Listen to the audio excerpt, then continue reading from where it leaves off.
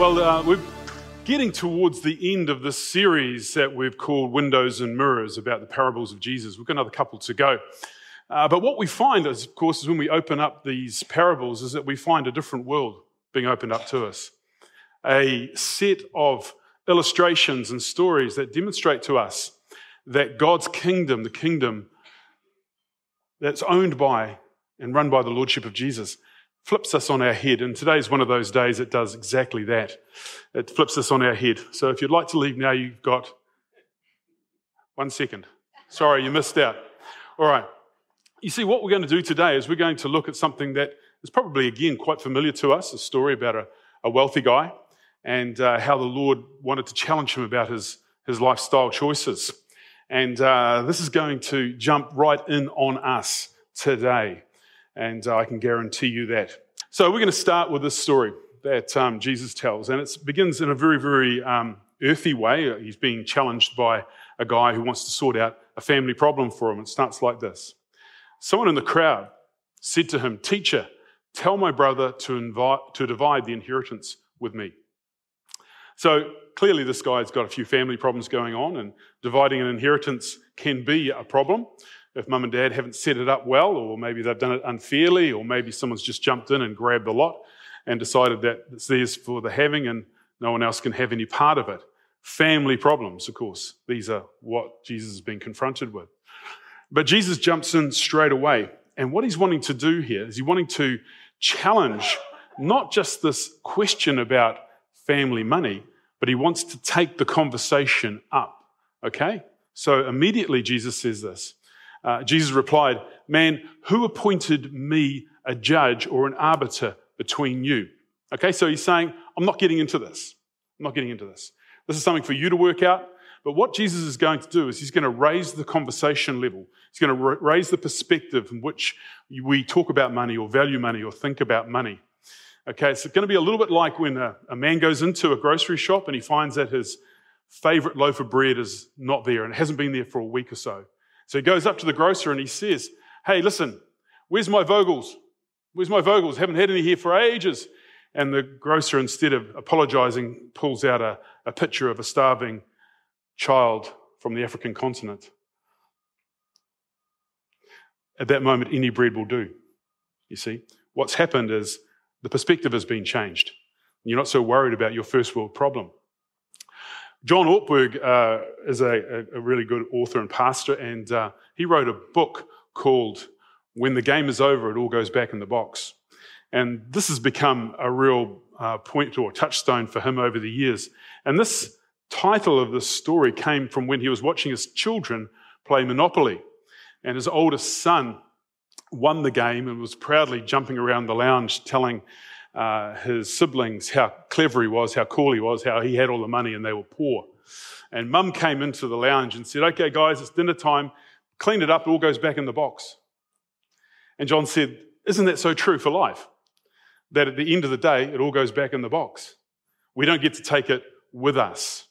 And so, what Jesus is going to do with this parable is he's going to challenge not only his generation, but he's going to challenge us here today with the words that he had to say about a rich man who was foolish.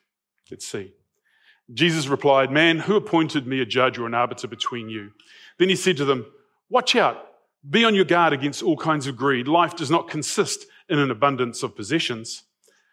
And he told them this parable The ground of a certain rich man yielded an abundant harvest. He thought to himself, What shall I do? I have no place to store my crops.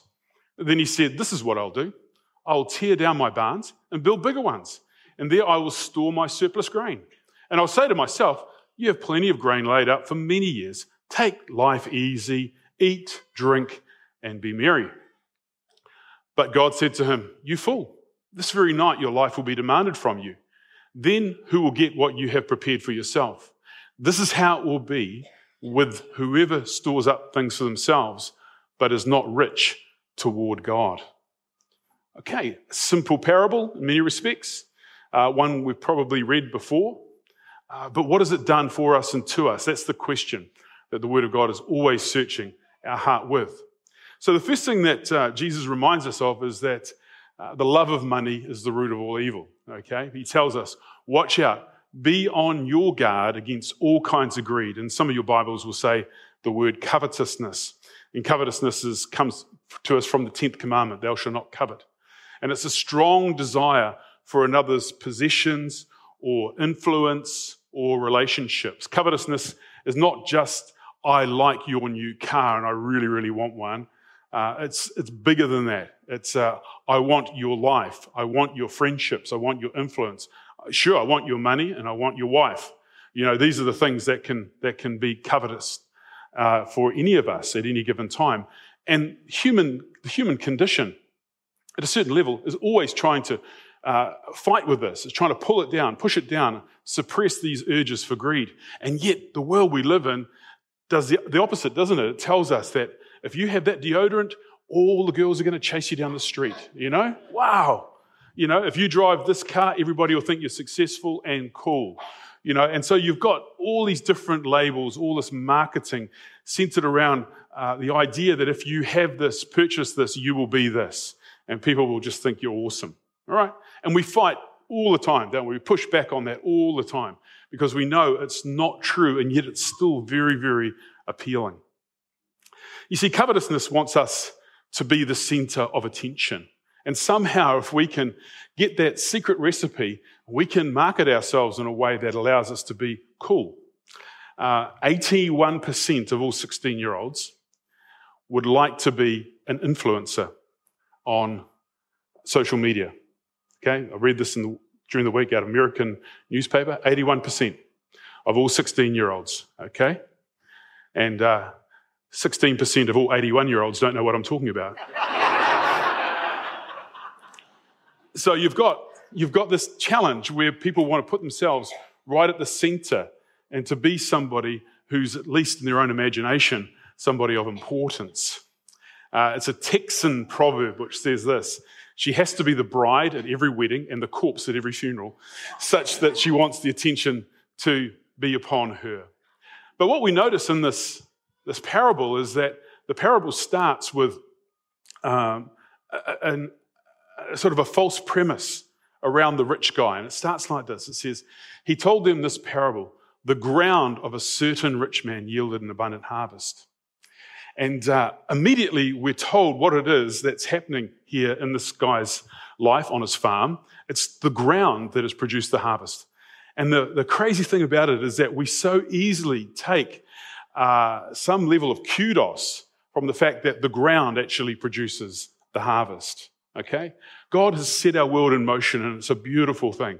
We don't even stop to think about how accurate and how amazing the seasons are. You know, we've got spring, summer, autumn, winter and that cycle of harvest and planting and harvest.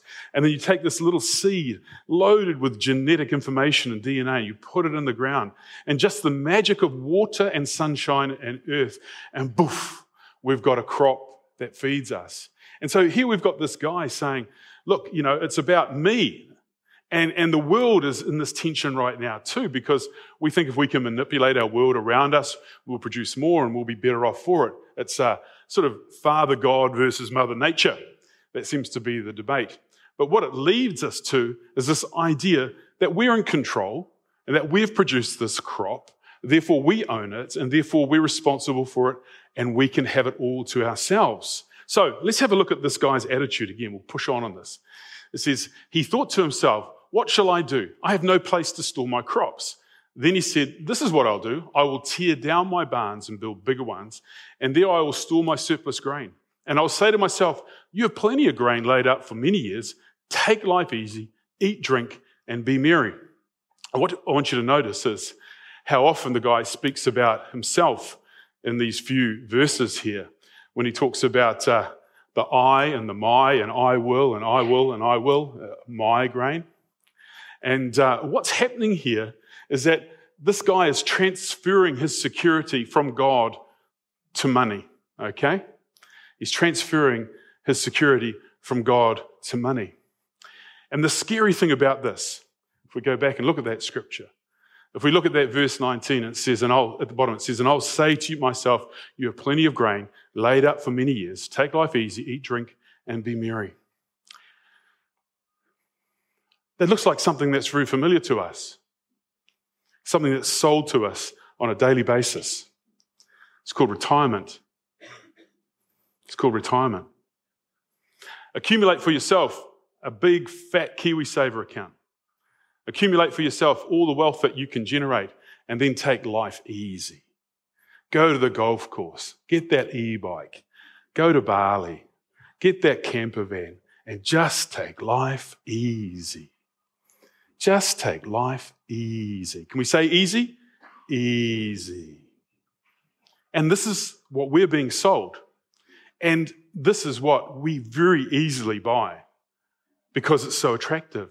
And it's so locked into the Western dream that we sanctify it and we normalize it and we just embrace it completely. And yet, here we're being told that this guy was a rich fool. Why? Because it was all about him. And what we've got here is this guy transferring his confidence from God to his money, from God to his bank account, from God to his barns, from God to his KiwiSaver account, from God to his investment portfolio, whatever that might be. You see, the rich fool doesn't have faith that God could or would bless the ground in the next season. He shut shop. He shut shop. And this is the, the power of this, this parable is that it tells us that we shouldn't be shutting shop. We shouldn't be just simply taking care of ourselves. There's a world around us that can be blessed by who we are and what we bring and how we do it. Um, in Ecclesiastes, which we've got to realize is background reading to the New Testament, realizing that Ecclesiastes has been there for a few hundred years and uh, would have been a mindset that have been adopted by the religious community about wealth. But again, it's easily challenged and easily overcome. But let's go and have a look at what Ecclesiastes says in this chapter. It says, Whoever loves money never has enough. Whoever loves wealth is never satisfied with their income. This too is meaningless. As goods increase, so do those who consume them. And what benefit are they to the owners except to feast their eyes on them? Okay, some powerful words here. You'd think this is written by an economist, Eh, straight out of the Reserve Bank. He says, Oh, look, we know that as the amount of goods increase, people are going to buy them. Why? Because we market them in such a way that you can't do without them. Yeah? And, and that's just the way the world works. And it goes on. We're going to read quite, a little, quite a bit of this chapter. Let me read it to you. It says, The sleep of a laborer is sweet, whether they eat little or much. But as for the rich, their abundance permits them no sleep. Why? Because they're worried. You know, look at the stock market crashing, house prices coming back, interest rates going up. I've seen a grievous evil under the sun, wealth hoarded to the harm of its owners, for wealth lost through some misfortune, so that they have children, so that when they have children, there is nothing left for them to inherit. Everyone comes naked from their mother's womb, and as everyone comes, so they depart. They take nothing from their toil that they can carry in their hands. This too is a grievous evil. As everyone comes, so they depart. And what do they gain since they toil for the wind? All their days they eat in darkness with great frustration, affliction, and anger. You notice that wealthy people aren't necessarily ha- happy people? Yeah, you read, read that in the media again and again. This is what I've observed to be good that it is appropriate for a person to eat, to drink, and to find satisfaction in their toilsome labor under the sun during the few days of life God has given them. For this is their lot.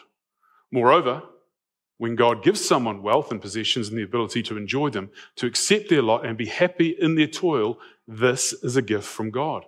So if you've got money and you're happy, God's blessed you. They seldom reflect on the days of their life because God keeps them, God keeps them occupied with gladness of heart. One person gives freely yet gains even more. Another withholds unduly but comes to poverty. A generous person will prosper. Whoever refreshes others will be refreshed. People curse the one who hoards grain, but they pray God's blessing on the one who is willing to sell. And this last verse here captures this story of the rich fool. Why? Because he has hoarded his grain to the point where he's not even prepared to sell it, maybe to people who needed it. And this is where the whole social conscience is always a big part of Scripture, and even here today. So Jesus is alluding to the guy who hoards his wealth, and he's got two problems. Firstly, he thinks it's all for himself, and secondly, he's not taking any form of social responsibility, even to the point where he could sell it. Sell it to those who are in need, sell it to those whose crops didn't come in, sell it to those who he has shared his life with in his community. So he is taking complete care of himself, but no care or responsibility for his neighbors. And this is a, a powerful uh, illustration that is bringing this parable to life. And so the question comes, of course, is shall we be a river or a reservoir? Yeah? A river or a reservoir. Now, a, a reservoir can get stagnant, yeah, because there's no water coming through it. A river is actually a breach in that reservoir. It says, I will have confidence that as that water leaves, more is going to come. And that's what we've been told in Ecclesiastes. To those who are generous, God will give more. It's perfectly understandable, isn't it? If you were wanting to sow seeds of generosity within the community, would you give it to people who give it away? Would you give it to people who hold on to it? You give it to people who give away. And this is one of the upside down dynamics of the kingdom is that those who have been given much is required and God will bless you more as a result of it. Um, currently, we're living in my son's house because um, he's overseas, and we've been given the responsibility to look after his dog. Right? Um, his dog is a black Russian terrier. Uh, this is not his dog. His dog's a little bit smaller. It's only a puppy weighing at 50 kilos um, and is only 11 months old. But he will max out at 75 kilograms. Now, Michaela and I took him for a walk yesterday, twice actually. But that's not actually true. It took us for a walk yesterday. And I swear, look, my one arm's longer than the other, see? The only advantage you've got with a dog this size is when you're going uphill, it's like being on an escalator, it just pulls you up, away you go. But the challenge for us is who is leading who? And so it is with money. Who leads who? Are you in control of your finances and where they're going? Or are they in control of you and you just follow along with the idea of accumulation? Um, there's this great illustration. It's very, very simple. It talks about closing the circle. You know, because where your treasure is, there your heart will be also, we're told by Jesus. Closing the circle, it talks about what we do financially. Uh, you get to the point where God is going to say to you, You've got enough. Enough is enough and you then close your circle on your personal wealth. Okay? You've got that house you wanted or one that you need, and uh, everything is, is fine, it's in place. And then you make a decision that outside of that, you will use that money to build and bless the kingdom of God. Be rich towards God, as the scripture challenges us to. The challenge, though, is to close it, isn't it? Because everything in the world around us tells us to keep it open. Every time you watch commercials online or on your television, they're challenging you to open it up, keep it open, have a new experience, have this and have that, and that will allow you to experience life in its fullness. But God has a completely different view of that. He says, listen, in the midst of uh, accumulation, don't retire, but certainly retire your expectations. Retire your expectations so that you can say, this is where I'm at, enough is enough, and after that, I can extend the kingdom. I've used this quote from Brian Hathaway before, and it absolutely ruins me. Brian Hathaway is an old uh, brethren pastor who, who, literally passed away about 20 years ago. Um, real great Kiwi and uh, great man of God. He said this He said, Our responsibility is to earn as much money as we can, to live on as little as we can, and to use the rest to build the kingdom of God. Okay? Earn as much as we can, live on as little as we can, and use the rest to build the kingdom of God.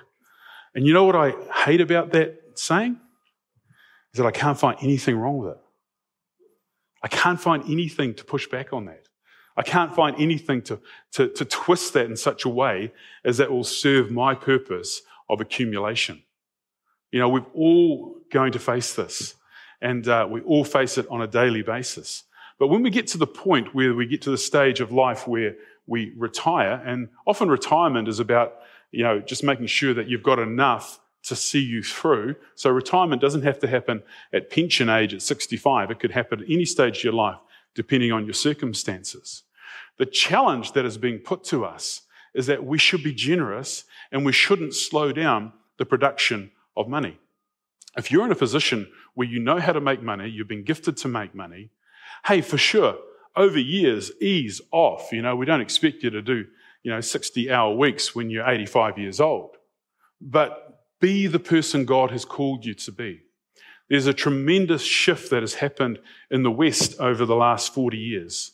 They call it the, the, uh, the emergence of the third age. Okay, back in my grandparents' day, to hit 65 was an achievement yeah, because just because of lifestyle and medical uh, ability to keep you alive.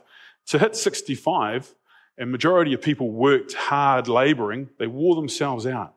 Okay? And so that's where your life was sort of expected to end from there on in. But now to hit 60, they say 60 is the new 40, or 40 is the new 60 is the new 40. Yeah, that's right. And so you've got this whole third age ahead of you. And instead of taking the soft option of just going, I'll put my feet up and watch Emmerdale Farm and um, all those other great TV programs, um, you should be preparing for, planning towards what you can do with that third age. Because usually, by the time you've hit the end of your second age, you've got the ability to just simply eat, drink, and be merry, okay, in an average world, average scenario. But being prepared for the third age says that you're going to use all of your skills, all of your resources to then reproduce more for the kingdom of God. And this is where this parable uh, really, really hits us hard because it wasn't just about the fact that he had got lazy, it's just the fact that he had missed an opportunity. He had missed an opportunity. Instead of trusting God that he, God could do it again, another great harvest and another great harvest and another great harvest.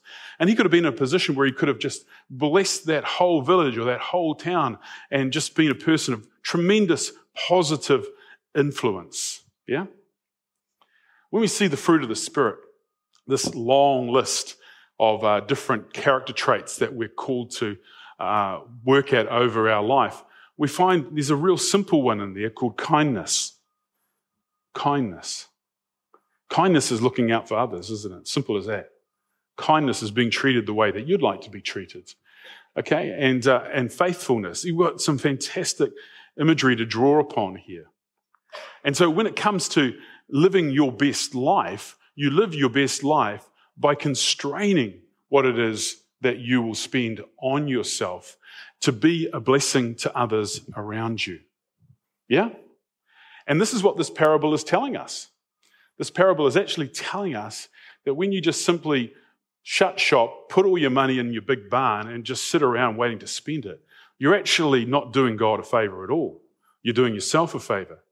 And you're not actually working the kingdom to the best of God's advantage, to God's advantage. I mentioned um, a couple of weeks ago, I haven't got someone here, I'll jump down and get it.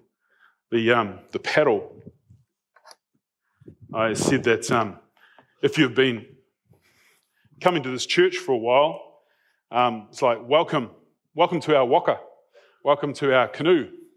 And, um, but don't just jump in for the ride, pick up a paddle. Yeah? Get in motion with what God is doing around here. The same thing applies financially. Get on board financially with what we're doing here. The, the end result is that the more we have in the life of the church, and I'm, I say this knowing that there's a lot said about money in churches in recent times. People are all over us about money in churches. All I can say is that our books are open. I don't have any idea what anybody gives here. I've been here 27 years, and I, from day one, I said, I will never know, and I don't want to know. That you give to God, you give to what it is that God is doing through here. But get on board financially. Be rich towards God. Okay? Don't rely on somebody else's money to keep the waka motivated, to keep the waka moving, to keep the waka momentum going. And you'll find yourself in a position where you're investing in the things of the kingdom, which will allow you to then look at this parable and say, yeah, God, I got this one, I got this one covered. People have bring, been bringing their tithes into the church or the equivalent of the church, for three and a half thousand years since the day of Abraham. This is the way God has always moved. And this is the way he will continue to move into the future. And uh, don't, don't, don't try to argue your way out of it. Don't try to be the lawyer. And as I said a couple of weeks ago, I'm not even talking here about capital gain, where most of our money actually comes from. Um, if you'd like me to talk about that, I will. I can tell the hesitancy there, you'd rather I didn't. so let's get back to our, our mate. We'll call him Bart, shall we? Bart, the rich fool. Then he said, This is what I'll do I will tear down my barns and build bigger ones, and there I will store my surplus grain. And I'll say to myself, You have plenty of grain laid up for many years. Take life easy, eat, drink, and be merry. This could be the promise line for any KiwiSaver account in New Zealand, couldn't it? Eh? Come and invest with us. We're going to build bigger barns so that your money can earn more money by making money for you to then eat, drink, and be merry and take life easy. Put that new battery on your e bike. Get that bigger motor home. Yeah, buy that bigger jet ski. Eh? go on that longer holiday. You too can uh, prosper with my KiwiSaver account. Craig's KiwiSaver. Come and invest with me. See, this is how, yeah, I'm not serious about that one, but this is how it works. We get invited to a dream, we get invited to a promise, and it's a, a promise that competes with what we are told by God is the better way. But how loudly do we hear this voice? Really loudly, because when I bring a contradiction to that, like I have just by opening up this simple parable, we find ourselves in a very, very sober place. Because we say, whilst we've been following the Lord, most of us all of our lives, we find that at a very, very deep level, we're actually asking God to bless the pattern of the world. That is what needs challenging. That is what needs to be have the, have the, the rug pulled out from underneath it. And we stare at it and we say, hey, God's blessed me enough to be here financially, and He's also blessed me enough to have a third age. Yeah more time where I can do some absolutely astounding things. Because why? I've got my health, I've got money, I've got experience, I've got intelligence, and I've got time. And I've got a church family that if we all get on board with it, we could do it together, which makes it a heck of a lot of fun. And instead of 30 cleft palates in the Philippines, we could have had 300 cleft palates. Do you see what I'm saying? This is what we're about. This is what the kingdom of God is all about. So we have to flip the switch on what we think our life journey towards is all about. It's not towards the life easy, the eat, the drink, the be merry. It's about working with accuracy. It's about being an entrepreneur when you're 80 years old. You know, it's about being excited about the energy you got at 60 years old. It's taking on kingdom challenges and taking personal responsibility for some of the outcomes that God would drop in your lap. That is a 180 degree flip on what the world says that you should be doing. Does it make sense? Makes sense. Doesn't make it easier though, does it? Makes sense. Remember? But God said to him, You fool. Yeah? Who was the fool? The guy who was just eating and drinking and being merry. This very night your life will be demanded from you.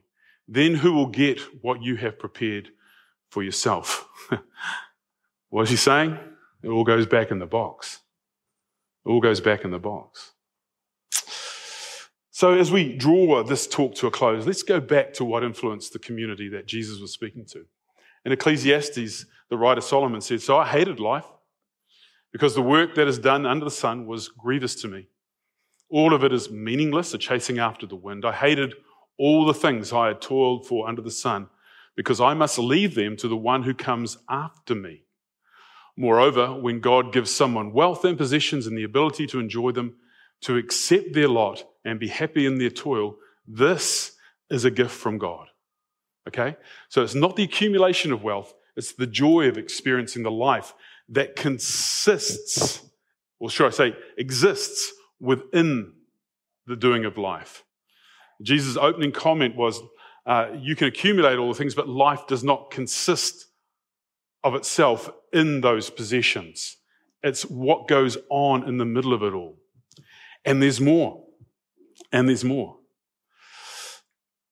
But God said to him, You fool, this very night your life will be demanded from you. Then who will get what you have prepared for yourself?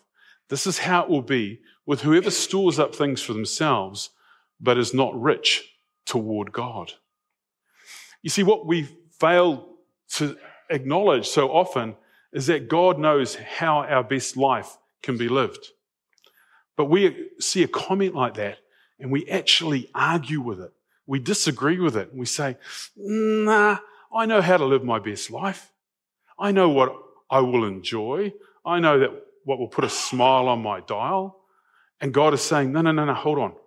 If you're rich towards me, that's your best life, your greatest reward, your greatest joy, your greatest level of um, contentment is going to come from pouring your heart and your life into the things of the kingdom. Be rich towards me, God says. And that is a huge, huge challenge for all of us who live in this world where everything is driven by every market force to tell us the complete opposite. Yeah? It's a big challenge, eh? It's a big challenge. The rich fool. The rich fool. I find this simple parable to be incredibly challenging. I find it really, really difficult. Why? Because um, when we open up scripture, what we actually want and expect is something that my son's dog wants. And that's just to tickle his tummy. We expect scripture to tickle our tummy and tell us, you're doing all right. This is exactly where I want you to be. And we wait for those strokes of affirmation. But God is saying fundamentally, we've got to flip this world upside down and live a life as if this life is the one that doesn't count, but the one that is to come is what's going to be counted. Yeah? It's tough, isn't it? It's challenging. It turns us upside down. And that, yet that is what has caused Christianity to change the world for thousands of years. This sort of stuff has turned a community around on itself to become the people of God who God wants us to be. And if we're not challenging each other with this, then we're just really a bunch of sanctified Western consumers. Yeah, that's what it looks like. But God is saying, no, use your money to flip things over so that the kingdom of God can be established in a way that is a sign and a wonder. Where generosity pours out of our lives, generosity pours out of our churches, lives given over to the kingdom of God in such a way that people can say, look at them, they walk to the beat of a different drum. Look at their community. Look how much they love one another, Jesus said. That will be the hallmark of how they know that we are his disciples. That's enough for one day, isn't it? I've never seen such a quick amen. Yeah, I mean, yeah, quick amen. Yeah, good. Get rid of that stinking paddle too. hey, there was a, a, great little illustration I got sent talking about paddles. Clint, um, Clint Harris, who was leading worship this morning, sent me this uh, just on Friday.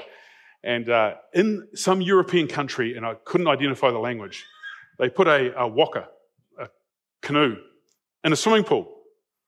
And um, they've got five, five, four or five guys in each end of it facing each other.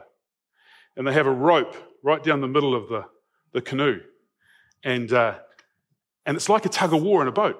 It's cool. It's ready go. And these guys are just going like this. And the crew, of course, that is the stronger, moves the other boat backwards.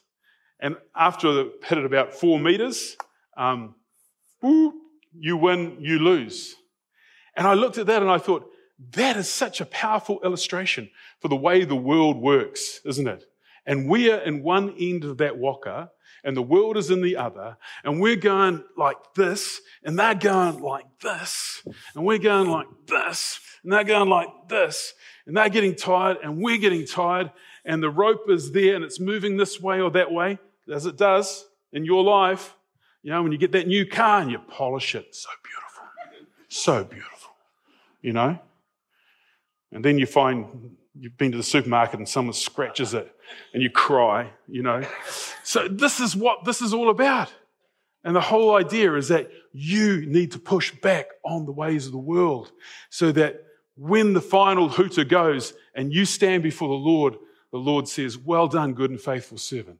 You paddled your waka as flat out as you could, you gave it everything. That's what this life is best spent on. Yeah? Amen. Let's give the Lord a clap. He's, he knows what's good for us.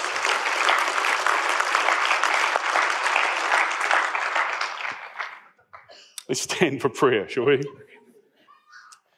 And Lord, we know that there's this, this black dog that wants to lead us in places where we don't want to go, but it has the strength to pull us over at times. And we're su- surrounded, Lord, by this intimidation of the world that tells us everything we should be and how we're supposed to live our lives. But we're told if we are rich towards you, Lord, then our lives count in ways that are immeasurable. Lord, we just want to pray that we can overcome the lies of the world by reading scripture and not reading it, but living it, applying it to our lives. That we take you seriously, that our best life is lived when it's lived for you, and we're rich towards you in every sense of the word. And so, God, I just want to pray for my brothers and sisters here today. Lord, we, we look at a word like this and we know it's so counterculture. We look at it, it's so aggressive in as much as uh, we see uh, people being called foolish for um, just taking it easy. And Lord, we, we also live in a world where we're super blessed to have a lifestyle expectation and a length of life that gives us more literal decades to glorify you. Give us wisdom, Lord. Give us, give us vision. Give us hope. Give us confidence that you can take our one and only life and help us spend it well. Lord, in everything that we do, we just trust, Lord God, that we can, we can look to you and you can shape our lives regardless of where they are now. Lord, for those who in this moment say, well, hey, I feel like a, a reservoir that's going stagnant, I, I just pray, Lord, let there be a dam burst so that people can see needs and can pour the resources they have into that. And that you would then fill it, Lord, afresh with your blessing. Lord, there's so many illustrations we can use to serve your purpose. But Lord, we just want to pray that collectively we can see what it is that Jesus said in this parable and use it to your glory. And we ask all of this in Jesus' name. Amen. Amen.